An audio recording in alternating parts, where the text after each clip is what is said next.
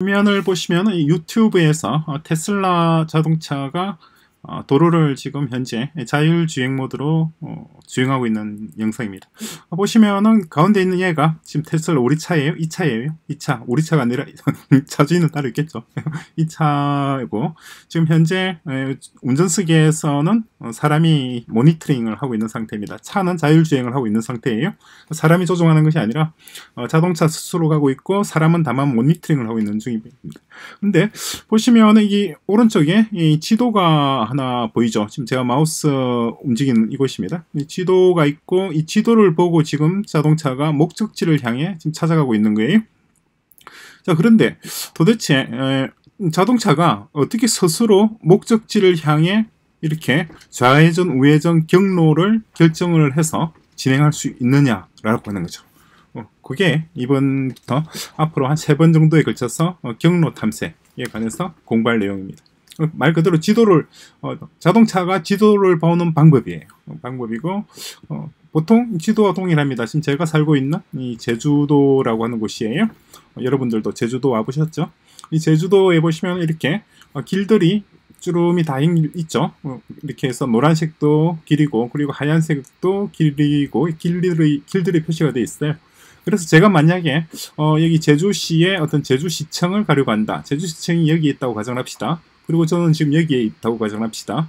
저 제가 어, 운전하지 않고 제 차가 스스로 경로를 찾아서 여기 있는 목적지까지 어떻게 가느냐는 거죠. 중간중간에 어, 신호등을 건너고 건널목도 건너고 뭐뭐 뭐 좌회전하고 우회전하고 갈 거 아니에요? 그렇게 하는 것이 이제 어, 우리가 말하는 패스파인딩이라고 하는 기술입니다. 어, 지난 에피소드에서 자율주행 차량에 적용되는 여러 가지 기술들이 있다고 말씀을 드렸었죠. 그, 그 중에 하나가 바로 pathfinding path finding path finding은 말 그대로 경로를 찾는다라고 하는 의미예요. 그래서 경로를 찾기 위해서 여러 가지 기술들이 이용을 되고 있습니다만 어, 그 중에서 가장 간단하면서도 가장 효율적인 기술이 이번 에피소드부터 해서 세 번에 걸쳐서 3회에 걸쳐서 진행을 합니다. 그래서 첫 번째 가장 단순한 가장 어, 가장 심플한 pathfinding 방식부터 해서 조금 난이도가 올라가는 방식까지 machine learning 전까지 그러니까 가장 easy 한 부분 하고 다음에 intermediate intermediate 한, 한 어떤 pathfinding 그리고 좀 advanced 방식이 있고 그런 다음에 마지막에 machine learning 방식이 있어요. 그래서 우리가 machine learning은 지금 다루지 않습니다. 다루지 않고 요거는 한 1년쯤이나 2년쯤 있다 공부를 할 거예요. 우리 이번 스크래치 강좌에서는 easy와 intermediate과 advanced까지 각 단계별로 어, 이 pathfinding 도대체 자동차가 지도를 어떻게 보느냐는 거죠. 자동차가 지도를 보는 방법 그걸 공부하는 겁니다. 어, 세 번에 나눠서 진행할 거예요. 이번 에피소드에서는 easy 쉽게 하는 쉽게 좀 쉬운 기술적 난이도가 비교적 낮은 방식을 공부를 할 거고 이어서 다음 에피소드 다음 에피소드에서 연속적으로 3회에 어, 걸쳐서 진행을 합니다. 자 마찬가지로 이전과 마찬가지로 어, 도움이 될 만한 먼저 학습에 도움이 되는 영상들이 있어요. 그래서 어, 그 106번, 107번, 그리고 108번 이 세 가지가 어, 가장 어, 요긴한 기술입니다. 이게 가장 쉬운 방식이고 두 번째 107번에 나와 있는 심플 그리드 리스트 이미지 스캐닝 방식이 중간 정도의 기술이고 그다음에 세 번째 path finding a maze using list라고 하는 방식 이게 좀 고도화된 방식이에요.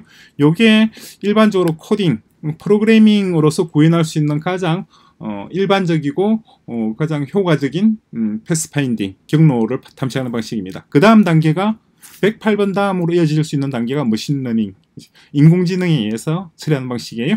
인공지능 역시도 프로그래밍의 한 방법이에요.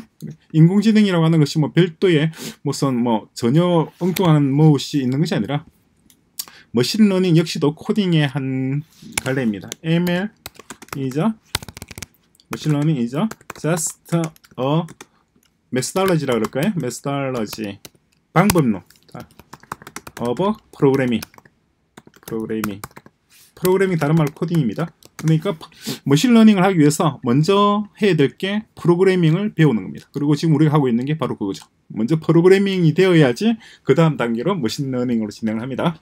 자, 그래서 먼저 첫 번째 가장 쉬운 방식입니다. 어, simple pathfinding 이번 영상은 어, 이번에 처음 아마 어, 이분 수업은 이분 영상을 우리 처음으로 접하게 될 텐데 예, 그게 열어둔 게 있죠. Simple Pathfinding이라고 돼 있죠.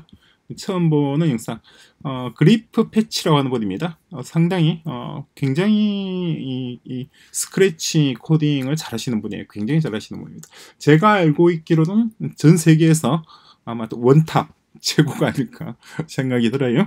아주 훌륭한 선생님이고 어, 훌륭한 프로그래머일 뿐만 아니라 굉장히 훌륭한 선생님이기도 해요. 설명을 아주 재미있게 잘하십니다. 그래서 여기는 이 영상인데 어, 제가 물론 코드를 만들어 뒀어요. 그래서 코드 이름은 여기 Simple Pathfinding Tutorial이라고 이름으로 저장을 했습니다. 여기 있는 이 코드를 참고하시면 됩니다. 여기 있는 이 코드가 여기 영상에서 등장하는 코드를 그대로 옮긴 거예요.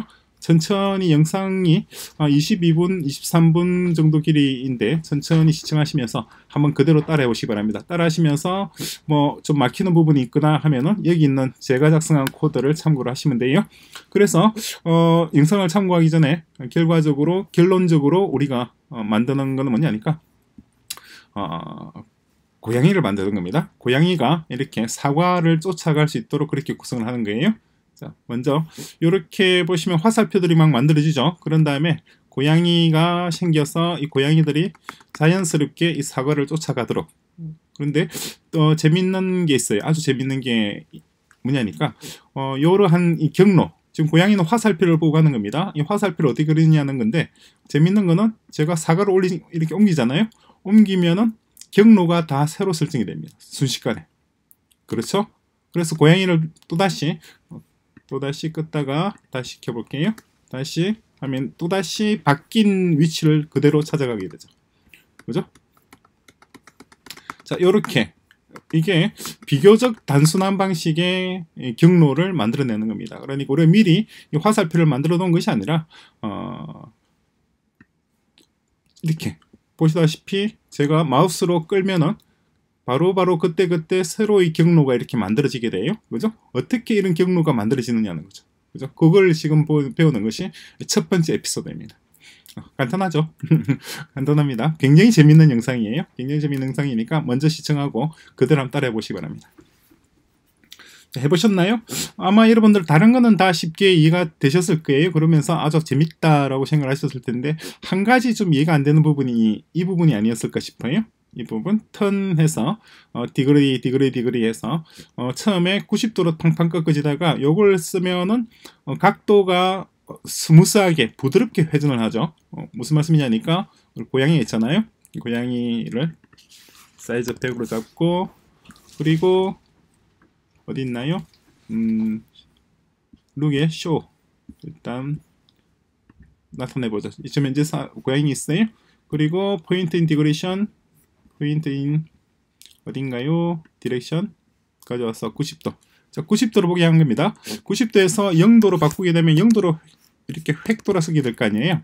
획 돌아서고 만약에 180도로 바꾸게 되면 또다시 180도로 획 돌아서는데 이것을 조금 자연스럽게 자연스럽게 부드럽게 전환하게 하는 게 이 코드 간단한 코드 두 개예요 이게 뭐냐면은 이건 미분과 적분입니다. 우리가 아직 수학 시간에 여러분들이 미분 적분을 공부를 하셨는지 모르겠습니다만 우리가 나중에 미분 적분도 따로 수업 시간에 언급을 할 거예요.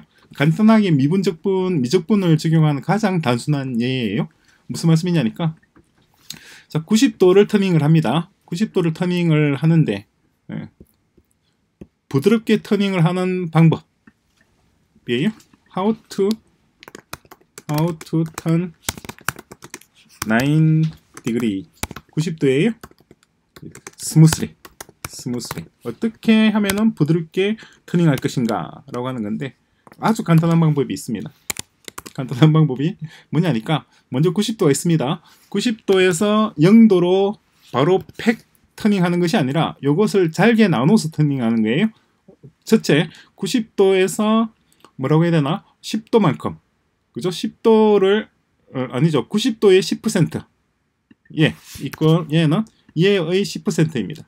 그죠? 그러니까 90도에서 얘에서 얘의 10%를 차감한 거. 얘의 10% 10으로 나눠도 되겠죠? 값이 되죠. 그러니까 처음에 90도에서 81도로 옮겨가는 겁니다. 81도에서 다시 얘를 10% 차감한 만큼 옮겨가는 거예요. 다시 72.9를 10% 차감한 만큼 옮겨가는 거고, 그죠? 이렇게 끊임없이 언제까지 연결되느냐니까 제로가 될 때까지 반복하는 겁니다. 이해되시나요? 이게 간단한 겁니다. 자, 내가 90도에서 0도로 터닝을 하려고 합니다. 그럼 제가 터닝해야 될 게 목표치가 90도만큼 터닝하는 거예요. 얘를 한 번에 turning하면 보기가 좀 그러니까 스무스하게 부드럽게 turning을 하자는 겁니다. 부드럽게 turning하는 방법이 10%씩, 90%의 10%, 또다시 얘의 10%, 그리고 얘의 또 10% 이렇게 turning하는 거예요. 그렇게 해도 되고 아니면 90도 있으면은 그냥 여기서 10만큼 줄여서 80으로 만들고 다음에 또다시 10만큼 줄여서 70으로 만들고 이렇게 turning도 할 수 있겠죠. 10만큼 이렇게 식으로. 그런데 이렇게 turning하는 것보다는 이렇게 turning하는 것이 훨씬 더 시각적으로 부드럽게 보인다는 겁니다. 그죠? 그러면 10번으로 나눠서 할 것인가 아니면 5번으로 나눠서 할 것인가 그게 여기 있는 smooth입니다. 지금 영상에서는 6번으로 나눴죠. 이해되시나요? 요게 이 코드 외에 나머지는 어, 여러분들 이해하는데 전혀 어려움이 없었을 거라 생각이 됩니다. 영상 보시고 충분히 이해를 하시고 그런 다음에 어, 다음 에피소드로 넘어오시기 바랍니다. 다음 에피소드는 인터미디어 조금 더 어, 조금 더 난이도가 어, 올라간 영상이에요.